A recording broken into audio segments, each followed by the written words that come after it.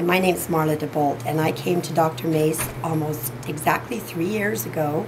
When I came here, my hands were numb. I couldn't move my neck. I had a headache every day. And since that time, my hands are not numb. I do not get headaches very often.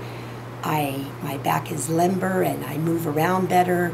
He's also taken care of my feet and my leg pain with orthotics that are helping me walk properly.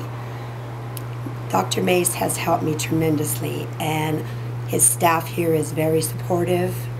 And I believe that Dr. Mace is the first chiropractor in my life that has been able to fix my neck and make me feel comfortable and sleep well. Thank you very much for listening.